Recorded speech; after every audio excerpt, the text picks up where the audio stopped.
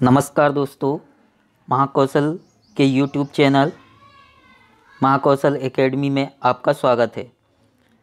आज जो हम क्वेश्चन करेंगे दोस्तों, वह संधि से संबंधित क्वेश्चन रहेंगे, जो एग्ज़ाम में पूछे जाते हैं। यहाँ पर हम देखेंगे कि कौन सी संधि होगी, किस प्रकार से संधि विच्छेद होगा, और संधि पहचानने का तरीका क्या होगा।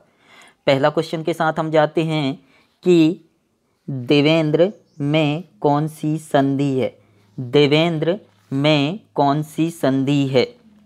मैं आपको तरीका बता रहा हूँ दोस्तों, बिल्कुल नियम की हम बात नहीं करेंगे। अब हम देखेंगे कि जहाँ पर हम रुकते हैं, वहीं पर क्या होती है, संधि होती है। अब आपको शब्द तोड़ते आना चाहिए और रुकना चाहिए, रुकना आना चाहिए। तो यहाँ पर हम बात करें तो हम बोलेंगे देव देव देव। अब जहाँ पर रुकते हैं, वहाँ पर हमको मात्राएँ देखनी हैं। यदि मात्राएँ में ए की मात्रा और ओ की मात्रा और आर आ जाए, ध्यान से सुनिएगा, जहाँ पर ए की मात्रा मीन्स क्या होगा? ए जहाँ पर ओ की मात्रा मीन्स क्या होगा? ओ की मात्रा। और जहाँ पर आर आ जाए अर, वहाँ पर हमारी होगी गुण, स्वर, संधि। फिर से मेरी बात सुनिएगा। मात्राओं को देखिएगा। यह देवेंद्र में देखिए, एक ही मात्रा देखिए, बिल्कुल आप पहचान जाइए कि यह कौन सी संधि होगी। गुण, स्वर, संधि। इस प्रकार से हमारा जो जवाब होगा, वह क्या होगा? गुण, स्वर, संधि। और इसका आपको पता होना चाहिए, संधि विच्छेद होगा, देव, धन होगा, इंद्र। देव, धन, इंद्र। और यहाँ पर हो जाएगी गुण स्वर संधि। और आपको मैं बता दूँ, यहाँ पर, जहाँ पर वृद्धि संधि होगी उसकी पहचान बता देता हूँ, जहाँ पर आई की मात्रा और औ की मात्रा औ की मात्रा मिल जाए, वहाँ पर वृद्धि संधि होगी। अयादि संधि की पहचान है, यहाँ पर आय आय आय आय और आओ आओ मिल जाए, वहाँ आयादी संधि होगी। और जहाँ हम रुकते हैं, वहाँ पर बड़ा आ की मात्रा के रूप में दिखेंगे दोस्तों यहाँ पर। बड़ा आ, बड़ी ई, बड़ा उ दिख जाए, वहाँ पर होगी दीर्घ स्वर संधि। क्या होगी? दीर्घ स्वर संधि। इस प्रकार से हमारा जो जवाब होगा, वह ऑप्शन नंबर बी होगा। क्या होगा? Option number B. फिर से बता दूँ, जहाँ पर मात्राएँ आपको देखना, मात्राएँ आपको देखते आने लगा मतलब आपके संधि बिल्कुल आसान हो जाएगा। नेक्स्ट क्वेश्चन देखते हैं, निस्सार निस्सार। अब यहाँ पर देखें हाँ और एक बात और बता दूँ कि संधि विच्छेद में हमेशा दोनों शब्द सार्थक होना चाहिए। अब देखें निस्यार क्या आपको स्यार सार्थक शब्द है? नहीं है मतलब ये संधि बिल्कुल नहीं होगी। निस धन सार हो सकता है। निस्त सार ये भी नहीं हो सकता। अब आप देखें कि जहाँ पर रुकते हैं, वहीं शब्द आधा हो जाए, वहाँ तो होगी यण संधि। पर यहाँ पर देखें, शब्द पूरा हमको मिल रहा है सार। पूरा शब्द मिल रहा है सार। यहाँ पर इस प्रकार से देखें तो इसका जो आंसर होगा वह होगा ऑप्शन नंबर बी, सार्थक भी दिख रहा है। निह धन, सार। सार्थक शब्दों को देखना है, संधि विच्छेद करते समय कि दोनों जो शब्द हैं, वह क्या होना चाहिए? सार्थक। इस प्रकार से जो हमारा आंसर होगा, वह ऑप्शन नंबर सी होगा। नेक्स्ट क्वेश्चन देखते हैं, गिरीश। गिरीश। नेक्स्ट क्वेश्चन देखते हैं, गिरीश। अब यहाँ आपको पहचानना होगा कि गिरीश का संधि विच्छेद क्या है। अब आप जब गिरी लिखते हैं तो बड़ी की मात्रा लिखते हैं कि छोटी की मात्रा। तो गिरी में हमेशा ध्यान रखिएगा, छोटू की मात्रा आएगी। गिरी गिरी तो बड़ी की मात्रा वाला होगा नहीं। गिर गिर कोई कंप्लीट शब्द है नहीं। गिर धन ईस सार्थक नहीं है। गिरी धन ईस यह भी सार्थक नहीं है। तो इस प्रकार से हमारा जो शब्द होगा गिरीश गिरी धन ईस और इसमें यदि आपसे बोले, दोस्तों, संधि कौन सी है? तो जैसा कि मैं आपको बताया, जहाँ रुके गिरी और बढ़ा पर बड़ा बड़ा आ जाए। बड़ा आ, बड़ी ई, बड़ा ऊ वहाँ पर समझ जाइएगा। दीर्घ होगी। बड़ा मतलब क्या होता है? दीर्घ।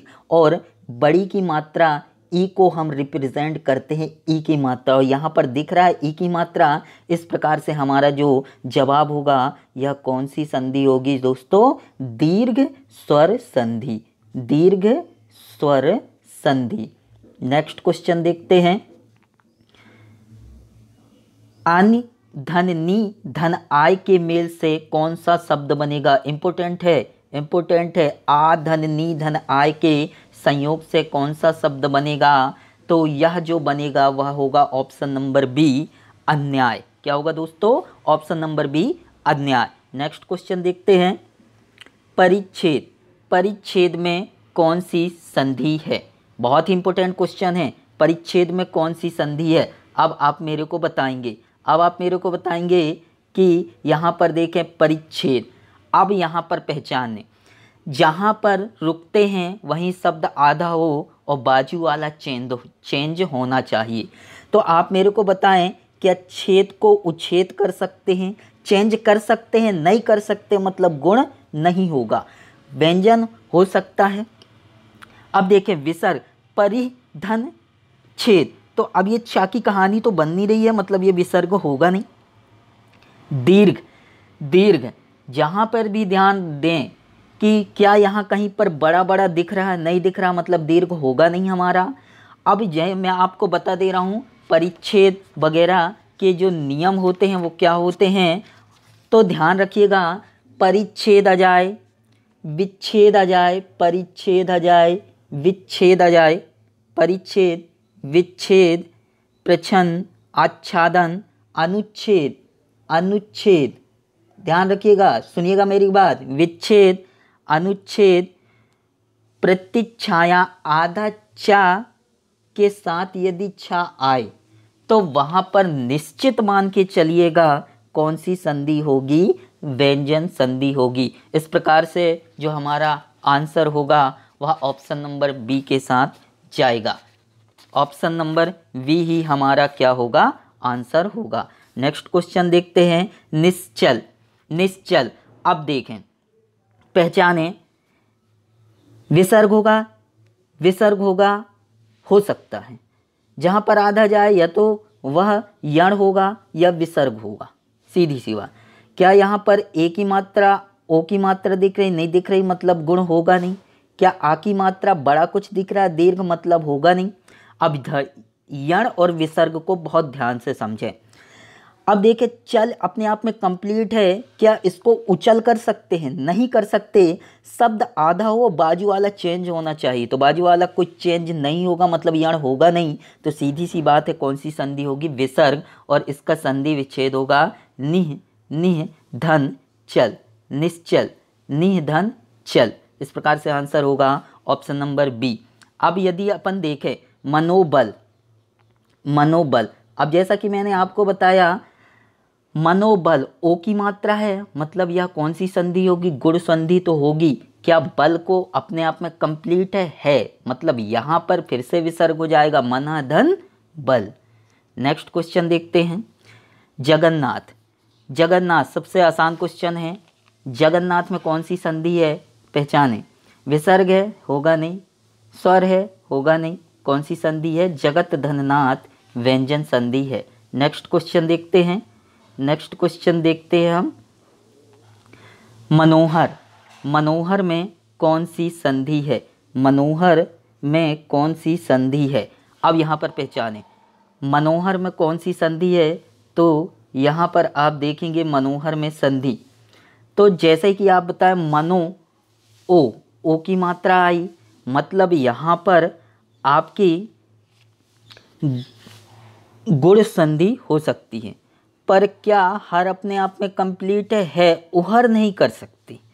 मतलब यहाँ पर मनह धन हर मतलब कौन सी संधि होगी? विसर्ग संधि होगी। वृद्धि तो है नहीं, औ की मात्रा है नहीं, दीर्घ है नहीं। इस प्रकार से आंसर जो होगा, वह कौन सा आंसर होगा? विसर्ग संधि। नेक्स्ट क्वेश्चन देखते हैं। अत्याचार। अब इसका संधि विच्छेद देखें। सार्थक शब्द चुनना है आपको। अति धन आचार आचार लिखते हैं कि आचार लिखते हैं। तो ध्यान रखिएगा, आचार में आ की मात्रा आती है। तो इस प्रकार से हमारा जो जवाब होगा, वह ऑप्शन नंबर सी होगा, अति धन आचार। मतलब क्या होगा? अत्याचार। और अत्याचार में ध्यान रखिएगा, देखो, संधि विच्छेद करें, अति धन आचार। अति धन आचार। अब देखें शब्द आधा हुआ, बाजू वाला या से आ हुआ मतलब सीधी सी बात है, यहाँ पर कौन सी संधि होगी? यण संधि। कौन सी संधि होगी दोस्तों? यण संधि। नेक्स्ट क्वेश्चन देखते हैं। संतोष। संतोष का संधि विच्छेद करें। सन सन होता है कि सम उपसर्ग होता है। सम उपसर्ग होता कि सन होता है? तो सम उपसर्ग होता है मतलब ये भी नहीं होगा आपका, आंसर ये नहीं होगा। सम धन तोष। ये भी नहीं होगा। समन तोष यह भी नहीं होगा। आंसर आपका होगा सम तोष और इसमें जो संधि है, वह होगी व्यंजन संधि। क्या होगी दोस्तों? व्यंजन संधि। नेक्स्ट क्वेश्चन देखते हैं। सत्याग्रह। अब आप देखिएगा। सत्याग्रह। बिल्कुल आप सार्थक शब्द देखिएगा। सत्या होता है कि सत्य होता है। तो सत्या नहीं होता, सत्य होता है। सत्य धन, आग्रह। अब यहाँ पर देखिएगा, बहुत गौर से देखिएगा। आंसर तो मैंने आपको बता दिया, सत्य धन, आग्रह हुआ। जहाँ पर रुके, सत्य, वही शब्द आधा हुआ। जहाँ आधा हो, वहाँ पर आपको यण संधि लगाना है। और यण संधि ना हो तो वहाँ विसर्ग भी हो सकती है। पर कैसे होगी, देखना। सत्य है, या की जगह आ हुआ, जहाँ पर रुके, शब्द आधा हुआ, और बाजू वाला या की जगह चेंज हुआ जहाँ पर रुके, शब्द आधा हो, बाजू वाला चेंज हो तो वहाँ कौन सी संधि होगी? यण संधि। इस प्रकार से हमारा आंसर होगा सत्य धन आग्रह, सत्याग्रह, option number B. Question number देखते हैं बारह। गायक गायक। अब इसका संधि विच्छेद करके देखना है। गोधनक गे धन अक और गाधन यक। यक अक कुछ होगा नहीं। इसका सीधा सा जवाब है। इसका जो आंसर होगा ऑप्शन नंबर ए, गे धन अक बराबर गायक। गए धन अक बराबर क्या होगा? गायक। और इसमें जो संधि होगी, वह कौन सी संधि होगी? मुझे प्लीज़ कमेंट करके बताना। नेक्स्ट क्वेश्चन देखते हैं। नी रोग नी रोग अब मैंने आपको बताया कि शब्द सार्थक निधन रोग, यहाँ पर कुछ चेंज हुआ? कुछ चेंज हुआ? मतलब ये संधि तो है ही नहीं। निधन रोग, क्या चेंज हुआ? नहीं हुआ, संधि नहीं होगी। नी की नी, सार्थक है नी धन रोग। इस प्रकार से हमारा जो आंसर होगा, वह ऑप्शन नंबर बी होगा। तो निरोग में जो संधि है, वह कौन सी संधि है? विसर्ग संधि। कौन सी संधि है? विसर्ग संधि। भोजनालय। भोजनालय अब देखें। सार्थक शब्द सुनना है। आलय होता है कि अनालय होता है कि जनालय होता है। सार्थक शब्द है आलय। और आलय एक ही ऑप्शन में दिख रहा है, भोजन धन आलय।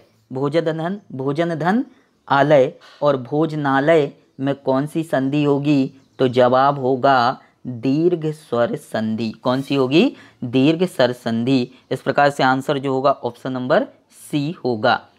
यद्यपि यद्यपि में कौन सा संधि विच्छेद है? यद्यपि में कौन सा संधि विच्छेद है?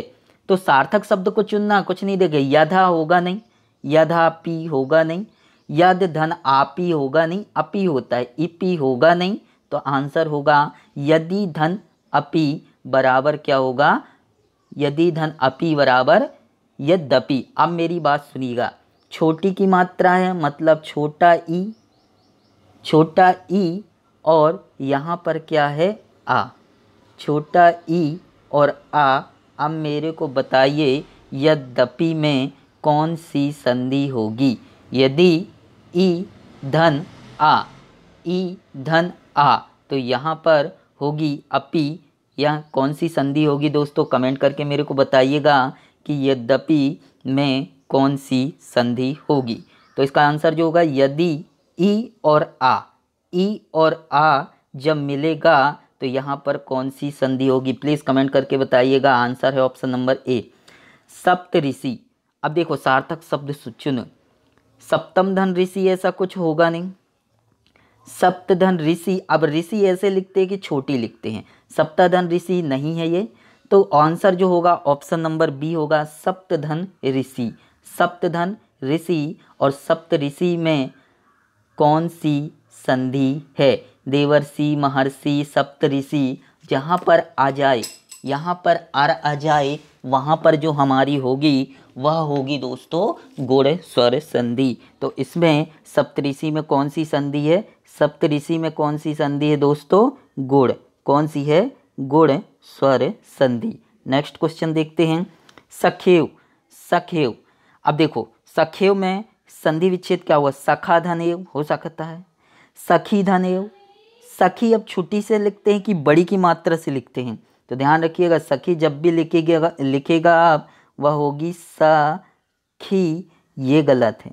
ये गलत है, सखी होगा सखी। अब आप देखें, बड़ी की मात्रा किस किसमें है। सखा नहीं है, सखी नहीं है, सखी ये भी नहीं है सखी धन एव ऑप्शन नंबर डी ही इसका सत्य आंसर होगा। और सखेव में कौन सी संधि है? तो देखें, जहाँ शब्द आधा हो ए से एव हो रहा, वहाँ शब्द चेंज हो जाए बाजू वाला, वहाँ होती है यण स्वर संधि। नेक्स्ट क्वेश्चन देखते हैं। देवीक्षा देवीक्षा में कौन सा संधि विच्छेद सही है? अब देखें, देवी धन इच्छा होगा सार्थक चुनना है। देव धन इच्छा, देवी, देवीक्षा होगा नहीं। देवी धन इच्छा, देवी, अब देवी छोटे की मात्रा से नहीं लिखते हैं। देवी धन इच्छा, यही सार्थक दिख रहा है। मतलब आंसर जो होगा, ऑप्शन नंबर सी होगा देवी धन इच्छा। नेक्स्ट क्वेश्चन देखते हैं, कवीस। कवीस का सही संधि विच्छेद चुनना है। अब सार्थक देख, का धन ईस? ये तो होगा नहीं, ध्यान देना ही नहीं। का धन विष होगा नहीं, या तो कवि होगा या कवि होगा। अब सार्थक कवि कैसे लिखते हैं? वहाँ, में छोटी की मात्रा वी मतलब ऑप्शन नंबर क्या होगा? ए, और कवीस में कौन सी संधि है? तो वह, में ई की मात्रा बड़ा दिख रहा है बड़ा को क्या बोलते हैं? दीर्घ। तो यहाँ पर संधि होगी दीर्घ स्वर संधि। नेक्स्ट क्वेश्चन देखते हैं। पित्र छाया, बहुत ही इंपॉर्टेंट क्वेश्चन दोस्तों पित्र छाया। पित्र धन इच्छा ऑप्शन नंबर ए ही इसका सही आंसर होगा। पितृधन इच्छा बराबर क्या होगा? प्रतीक्षा। और यहाँ पर जो संधि होगी, वह संधि होगी व्यंजन संधि। क्या होगी? व्यंजन संधि। तो इस प्रकार से आंसर ऑप्शन नंबर ए होगा, पितृधन इच्छा। इक्कीसवा का क्वेश्चन देखेंगे सरस्वती शोध का संधि विच्छेद क्या होगा? तो इसका देखें, सरस्वती आयोध। अयोध कोई शब्द सार्थक है, अयोध सार्थक है कि ओध सार्थक है? तो शब्द जो है वह ओध सार्थक है तो इस प्रकार से हमारा आंसर होगा सरस्वती धन ओध बराबर क्या होगा? सरस्वती ओध।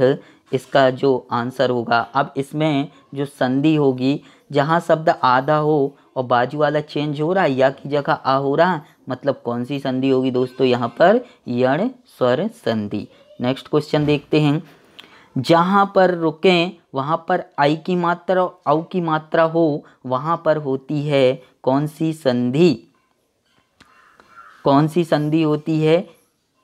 यण सॉरी वृद्धि, स्वर, संधि। अब यहाँ पर पूछा है संधि विच्छेद। तो सदा होगा कि सद होगा? सदा होगा कि सद होगा बताएँगे? तो मेरे को बताइएगा, यहाँ पर जो आंसर होगा, वह होगा सदा धन एव, सदैव। और सदैव में यदि पूछे कौन सी संधि है तो वृद्धि। कौन सी है? वृद्धि। क्योंकि यहाँ आई की मात्रा दिख रहा है। यदि एक डंडी होती तो ध्यान रखना, वहाँ पर होती गुण। और दो डंडी हो जाए तो वहाँ पर समझ जाइएगा, हो गई उसमें क्या वृद्धि। तो सदाधन एव, सदैव, option number A. Next question देखें। दुशासन का सही संधि विच्छेद देखें। अब देखें बाजू वाला कहीं चेंज हो रहा है, दुस आसन दुस आसन नहीं शासन होता है मतलब ये तो होगा नहीं। अब देखिए बाजू वाला चेंज हो रहा है दूसरा आसन ये होगा नहीं। बाजू वाला चेंज नहीं हो रहा मतलब ये सीधा विसर्ग में चला जाएगा तो दो धन शासन यण होगा नहीं। तो ऑप्शन नंबर बी इसका सही आंसर हो जाएगा। क्वेश्चन नंबर चौबीस देखते हैं। सच्चिदानंद में का सही संधि विच्छेद बहुत इंपॉर्टेंट है, बहुत इंपॉर्टेंट है। सच्चिदानंद का सही संधि विच्छेद क्या होगा? सच्चिदानंद का सही संधि विच्छेद। तो ध्यान रखिए, सत्य धन, चित्त धन, आनंद। ऑप्शन नंबर बी इसका राइट आंसर होगा। उन्नति। उन्नति में का सही संधि विच्छेद आपको देखना है। उन्नति। उन्नति, ये ना, ये देखिए, यहाँ पर कोई स्वर है नहीं तो यहाँ पर स्वर होगा नहीं। तो यहाँ पर जो आंसर होगा, उत्धन्नति बराबर उन्नति, और यह कौन सी संधि है? व्यंजन संधि। कौन सी संधि दोस्तों? व्यंजन संधि। इस प्रकार से आंसर जो होगा, ऑप्शन नंबर आ होगा। फिर नेक्स्ट क्वेश्चन देखते हैं सणमार्ग सणमार्ग का सही संधि विच्छेद क्या होगा? बहुत इंपॉर्टेंट क्वेश्चन है। सणमार्ग का संधि विच्छेद क्या होगा? तो इसका जो जवाब होगा, वो क्या होगा? सट धन अमार्ग होगा नहीं, स मार्ग मार्ग सब तीन है, अमार्ग होगा नहीं। सण धन सण धन और सट धन। तो आप मेरे को बताइएगा कि यहाँ पर सट जो है, वह उपसर्ग है और उपसर्ग सण नहीं है, सट है। तो सट धन मार्ग ऑप्शन नंबर द, इसका सही संधि विच्छेद होगा। फिर क्वेश्चन नंबर नेक्स्ट देखते हैं। मनोरथ मनोरथ, अब देखें। जहाँ पर ओ की मात्रा हो तो मैंने आपको बताया था, वहाँ पर गुण होगी। गुण होगी। पर गुण है पर रथ अपने आप में कंप्लीट है और इसको हम चेंज नहीं कर सकते। मतलब अब यह गुण गुण ना होकर क्या हो जाएगी? विसर्ग। तो ये क्या हो जाएगा आंसर माना धन रथ बराबर, मनोरथ ऑप्शन नंबर बी आप मेरी ऑफलाइन क्लास में होते तो शायद समझ पाते, मैं पूरी कोशिश कर रहा हूँ कि आप समझें। संधि बिन नियम धर्म के कैसे सॉल्व की जाती है? उज्जवल। उज्जवल का सही संधि विच्छेद करे। उत्जल का, उज्जवल का सही संधि विच्छेद। और ये सही शब्द है दोस्तों। उज्जवल ऐसे ही लिखते उ आधा जा आधा जा, व और ला। तो इसका सही संधि विच्छेद है उत। उत उपसर्ग है। तो उत धन ज्वल बराबर क्या होगा? उज्जवल ऑप्शन नंबर ए, इसका सही आंसर होगा। अन्ना भाव। अन्ना। अब देखो, अन्ना लिखते हैं कि अन्न लिखते हैं? अन्न लिखते हैं ना? अन्न अभाव में आ की मात्रा आता है कि आता आयाता है। तो इस प्रकार से हमारा जो हो उसका आंसर वह होगा अन्न धन अभाव। अभाव नहीं लिखते हैं। सार्थक शब्द चुनना है दोस्तों। अन्न धन अभाव। अब देखें, अब शब्द आधा हुआ, ना की जगह चेंज हुआ। आ मतलब सीधी सी बात है, यहाँ कौन सी संधि होगी? यड़ कौन सी संधि होगी? जड़। अनंत। अनंत। अनंत का सही संधि विच्छेद क्या होगा? अन धन अंत। नंत अंत तो होगा नहीं मतलब लेमिनेट करो ता होगा नहीं। अन धन अंत, अब अन में उब क्या जुड़ा है? अन। अब ये यहाँ पर देखिएगा, इस प्रकार से यह जो संधि है, यह कौन सी संधि, जहाँ लंत लग जाए, वहाँ पर कौन सी संधि होगी? व्यंजन संधि। और हाँ आपको बता दूँ एग्ज़ाम में अधिकांश उदाहरण संधि, स्वर संधि के भेद से पूछे जाते हैं, पाँच प्रकार के हैं। दीर्घ स्वर संधि गुण स्वर संधि, वृद्धि संधि, यड़ संधि अयादि संधि। यहीं से नब्बे परसेंट चांस हैं कि एग्ज़ाम में क्वेश्चन पूछे जाते हैं। नेक्स्ट क्वेश्चन देखें, बहिष्कार। बहिष्कार। बहिष्कार में सही संधि विच्छेद क्या होगा? कार। कार चेंज हो नहीं सकता। नहीं हो सकता मतलब सीधा सा है कि यह कौन सी संधि होगी? ये होगी विसर्ग। बही, धन, कार। बहिष्कार option number A next question देखते इत्यादि। इति धन आदि, यादि नहीं होगा, आदि। इति धन आदि, जहाँ रुकते हैं वह शब्द आधा हुआ, यादि का आदि हुआ चेंज हुआ मतलब यह कौन सी संधि है? यण। कौन सी संधि है? यण। समझाने की पूरी कोशिश कर रहा हूँ ऑफलाइन बेच वाले स्टूडेंट देखेंगे तो बिल्कुल समझ में आएगा। इति धन आदि, या से आ हुआ चेंज हुआ, बाजू वाला चेंज हुआ मतलब यण है और आधा भी है। जहाँ पर रुकते हैं वहाँ शब्द आधा हो और बाजू वाला चेंज हो जाए, वहाँ पर यण संधि होती है। तो इस प्रकार से इसका सही संधि विच्छेद होगा ऑप्शन नंबर ए इति धन आदि। नेक्स्ट क्वेश्चन देखते हैं, चयन। चयन में कौन सी संधि है? चयन में कौन सी संधि है? अन्न अन आय, आओ। इस प्रकार से आए तो हमारा जो आंसर होगा, वह कौन सा होगा? अयादि अयादि आय आय, अभी आओ। इस प्रकार से आते हैं तो चयन, अन आ रहा है ना? तो इस प्रकार से संधि होगी अयादि संधि ऑप्शन नंबर डी लंबोदर। लंबोदर। अब मेरे को बताएँ, लंबोदर में कौन सी संधि है? लंबोदर में कौन सी? अब देखें शब्द को तोड़ें, लंबो ओ की मात्रा आ रहा और यहाँ पर ओ की मात्रा आ जाए, वहाँ पर ओ की मात्रा और वहाँ पर एक की मात्रा। रुकते हैं, वहाँ पर हो जाएगी कौन सी संधि? दोस्तों गुण स्वर संधि। तो आंसर होगा ऑप्शन नंबर ए, गुण संधि। फिर देखें, अन्वय। अन्वय में कौन सी संधि होगी? अनुधन आय। इसका सही संधि विच्छेद होगा। अनुधन आय। अब देखें। वय से आय हुआ, शब्द आ, जहाँ रुके वहीं शब्द आधा हुआ और बाजू वाला चेंज हुआ। मतलब कौन सी संधि होगी? यहाँ पर दोस्तों, यण। कौन सी संधि होगी? यण। ऑप्शन नंबर बी इसका सही जवाब है। मतलब यण संधि बहुत आता है एग्ज़ाम में, जहाँ पर रुकते हैं, वहाँ शब्द आधा हो, बाजू वाला चेंज हुआ यण संधि होगी। चंद्रोदय चंद्रोदय, यहाँ पर कौन सी संधि होगी? चंद्रो चंद्रो, ओ ओ की मात्रा आ रहा है। समझ पा रहे हैं मेरी बात? ओ की मात्रा आ रहा है। ओ की मात्रा आ रहा है मतलब यहाँ पर कौन सी संधि होगी दोस्तों? गुड़ ये ओ की मात्रा दिख रही है ना? रुक रहे हैं। चंद्रो, अब ऐसा नहीं कि चा आधा चंद चंदों में रुक नहीं रहे, जहाँ रुकना आपको। तो इस प्रकार से आंसर होगा गुड़, स्वर, संधि। अब इसको आप यण संधि मत समझिए, क्योंकि शब्द आधा हुआ पर जहाँ रुके, वहाँ आधा नहीं हुआ। चंद्रो, ओ ओ ओ मतलब कौन सी? गुड़, स्वर, संधि। निर्धन निर्धन। अब मेरे को बताइए, निर्धन में कौन सी संधि है? अब देखो, जहाँ रुके, वहाँ ए, ओ दिख रहा, नहीं दिख रहा मतलब गुण होगी नहीं। यण, जहाँ पर आधा वगैरह की बात नहीं हो गई, यण होगी नहीं। जहाँ आय आय हो नहीं तो वहाँ होगी नहीं। मतलब यह कौन सी संधि है? विसर्ग। निधन, धन। निधन, धन। निर्धन। महौषधि अब देखो, बड़ा ही प्यारा तरीका बता रहा जहाँ पर रुकते हैं, महो तो यहाँ पर आई की मात्रा और औ की औ औ की मात्रा। तो महो औ की मात्रा आ रही है। वहाँ पर देखो गुण में क्या होगा? समझिएगा मेरी बात। ए की मात्रा और ओ की मात्रा, वहाँ गुण और जहाँ पर आई की मात्रा और औ की मात्रा रुकते समय तो वहाँ पर कौन सी संधि होगी? वृद्धि। तो गुण में देखना एक एक की वृद्धि हुई तो गुण के बाद वृद्धि। तो इस प्रकार से आंसर होगा ऑप्शन नंबर बी। फिर नेक्स्ट क्वेश्चन देखते हैं, उद्घाटन। तो उत उत लगा, उत धन, घाटन। और जहाँ भी हलंत लग जाए, वहाँ कौन सी संधि होगी दोस्तों? व्यंजन संधि, उत धन, घाटन। अब देखो, यहाँ पर समझे, अयादि आय आय होगा नहीं मतलब लेमिनेट करें, होगा नहीं। यण कहीं आधा दिख नहीं रहा, होगा नहीं। गुण इसलिए नहीं होगा कि ए की मात्रा, ओ की मात्रा है नहीं होगी तो सीधी सी बात है, व्यंजन होगी। ऐसे भी लेमिनेट कर सकते हैं। तथेति, तथा, तथेति।